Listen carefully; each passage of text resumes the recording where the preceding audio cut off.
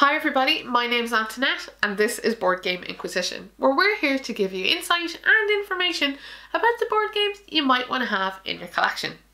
So today I'm going to be talking about what I think are the best games for two players.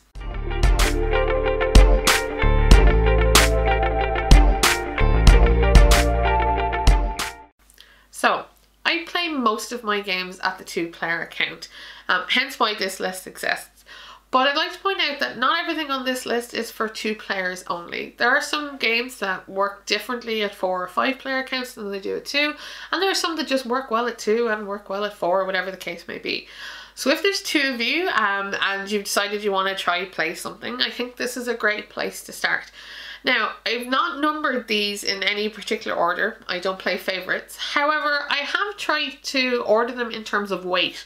So if you're new to board games and you're looking for something maybe to play with your friend or your partner, um, then these first couple of games might be might up your more up your street. Um, the later ones definitely get heavier, but doesn't mean you couldn't try them out and doesn't really make them any less awesome either.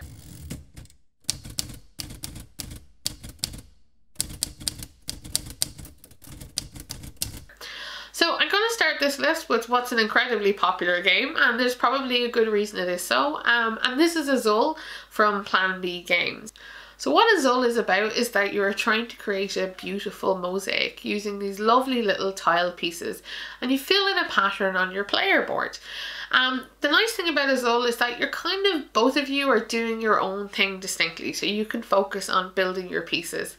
However, to get tiles to place into your mosaic, you do have to like perform a kind of bidding. So there'll be a group of tiles in the center and you'll get to choose one, then your opponent will get to choose another and vice versa. And while this might sound a little simple, it can also get a little bit vicious, especially when you need tiles of a particular colour.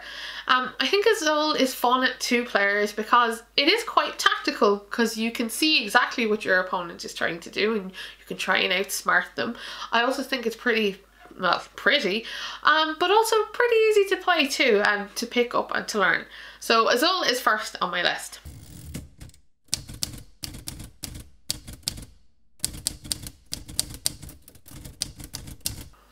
Next on my list is Codenames Duet. Now take note, I said duet at the end, not code names. Um, Codenames is a party game in which one of you is um, a spy and you're trying to give clues to the other person to get them to say specific words.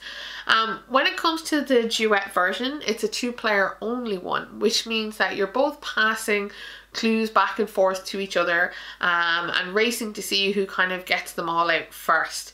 Um, I think it's a really, really fun game, mostly because you have to learn how to communicate with your partner, which is hilarious all by itself.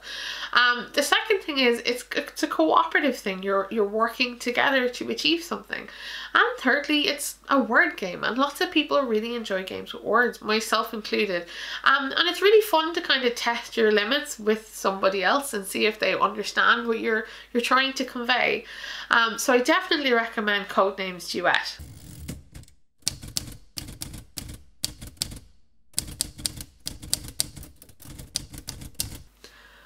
In my mind, Kingdom Builder is a wonderful game for two players.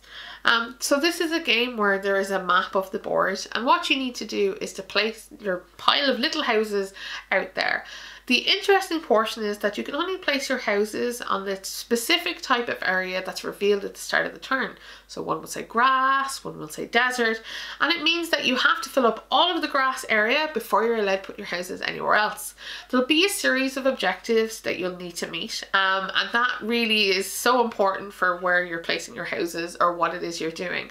Um, I think the nice thing about Kingdom Builder is how chill it is, and I particularly enjoyed it two player because makes the game yet again kind of tactical. Two player seems to do that a lot.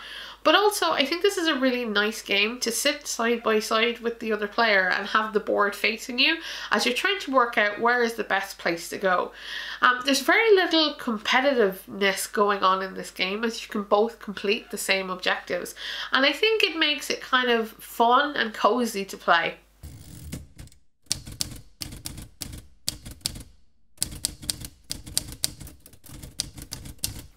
Kingdomino is probably one of the fastest games to play that's on my list.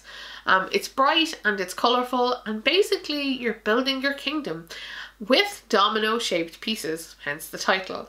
Now, each domino shaped piece will have a different terrain type on it, so you're going to want to match the sandy pieces with the sand and the water with the water, um, and that's not easy. It sounds easy, but it's not as easy as you'd think. Um, it's very limited on how long it takes to play, and also this is another one like Azul where you're grabbing things before your opponent gets a chance to. Um, the interesting thing with Kingdomino, however, is that if you want to like screw over your opponent, it's possible, but you might end up screwing over yourself, so you have to think about it quite seriously. Um, I love how pretty this game is, how fun it is to play, and it's definitely a game we're going to want to play back to back again, um, because it just it plays so quickly and it's just that much fun.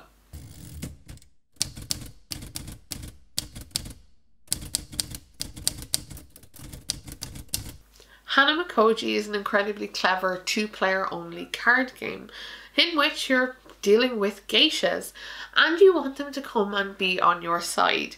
And so this game is about pushing and pulling, using the cards in your hands and the unique type of actions to outwit your opponent. It's very clever, it's very quick, and I think it's beautiful when set up on the table. And I think that kind of heads up combat without directly affecting each other makes for a really interesting game.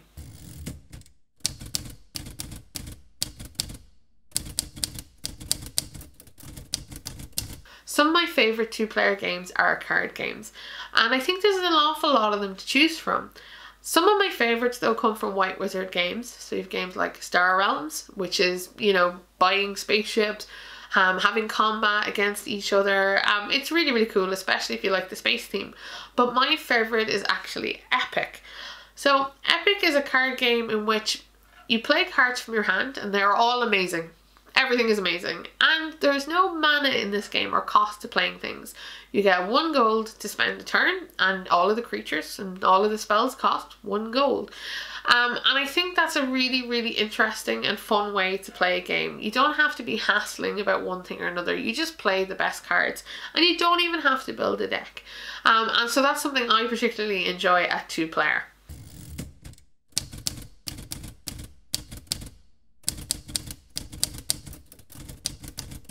So I'm going to try step it up a notch here in terms of card games.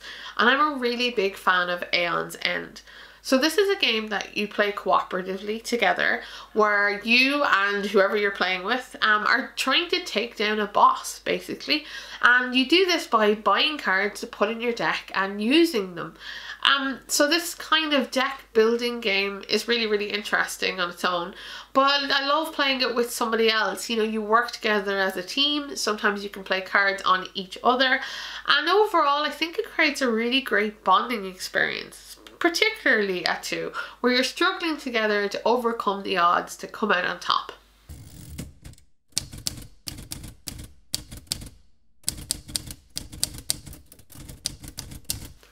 Many Euro style games don't really encourage interaction between the players, and I think Raja of the Ganges is kind of a bit of a step out from that while still getting that kind of cool puzzly Euro game feel. So Raja of the is a game basically about progressing in various ways.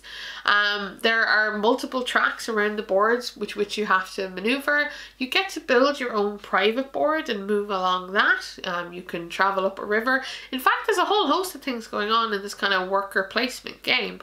What's really interesting about it is, is that, yeah, you can definitely feel like you're playing your own game. However, it is technically a race and it's whoever manages to go around their tracks and have the match first is the winner.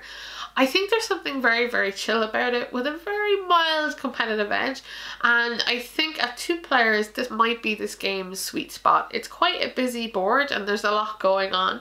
Um, but I think it's a really satisfying play at two.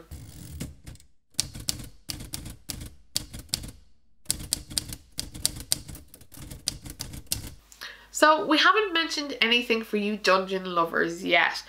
Perhaps if you're into role-playing games or you just like delving into the dark, I think having one good dungeon game to play with two is is important. Um, and there's only one I can name I think that's fantastic at two players and this is Gloomhaven. Hold on to your wallets folks.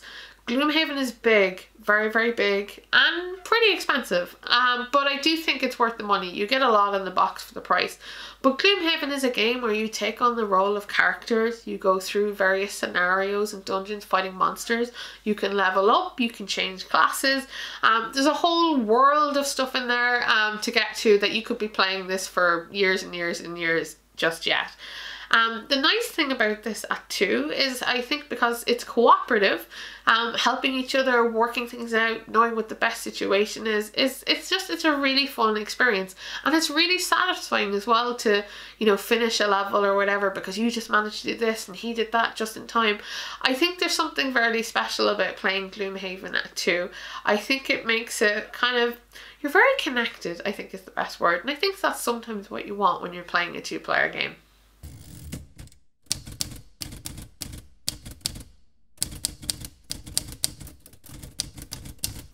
So for a heavier, pleasant game um, at two, I think I'd be remiss not to mention Keyflower. Um, there are a whole number of key games in this series, but Keyflower is definitely my favourite. And what Keyflower is about is basically like you're building your own town. You're putting all these buildings together to build things with a whole host of coloured meeples.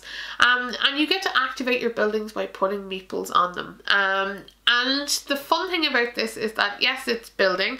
There's also a bidding portion at the start, which is, um, you know, that causes all of its own fun moments. The best thing about this game is that you can use other people's buildings that they've built in their own village. Um, it's a great way to screw people over get what you want, and still have fun playing this really bright and cheery Euro game. I just, there's something so nice about playing Keyflower. I just find it really chill and relaxing, particularly at two, because there is that back and forth. So whatever you don't pick, your opponent can pick, and it gives you these kind of interesting decisions without being particularly taxing. Plus, it's really, really fun to see all your coloured meeples spread throughout your village and whatnot. So I, I would definitely recommend Keyflower.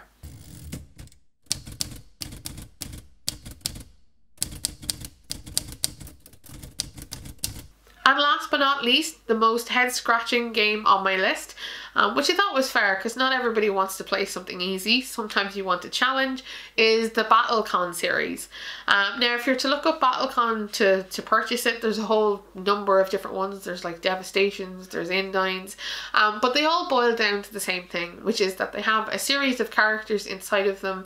And what you do is you'll basically have a fighting match with your opponent. Um, each character you play is completely different and they have a hand of cards, right? So you play the cards, it'll move your character around, they'll perform an action, and you and your opponent fight on like little boards, you know, with spaces and you move back and forth. Da, da, da, um, and you'll attack each other. Um, and this sounds probably not the most exciting thing. But the way the cards are put together is really, really fun and really, really smart. I love everybody's special abilities. And these are games I normally do terribly at where I'm head to head with my opponent. However, for some reason I can pull it out, I find, if I, you know, play the same character or the right character. And a lot of it is about preempting what your opponent's going to do. And I think this kind of game is a great way to get to know each other. You know, will he move forward one now? Will he pretend to do that? Should I do that? Um, and I think there's a, a whole host of kind of guessing and unspoken communication that goes on when playing BattleCon. Also, it's eminently satisfying when you actually manage to pull out a victory. Sure, this is a bit of a head scratcher, but I think it's a really, really good one. Um, and it's definitely one of my favourite two player games. Now, I'm not going to lie, I could have added a ton more to this video, but you know, we don't want it to be overly long. But let me know what you think I might have missed out on. What are some of your favourite two-player games? Let's hear it in the comment box below. Let, let everybody know what's fun to play it too. And until next time, thanks for watching. If you've got any comments or queries, um, why not, you know, ask? That would be great. Or if you like my videos, you can like or subscribe to the channel to hear about future ones. So, take care everybody. It was fun talking to you, and until next time, ta!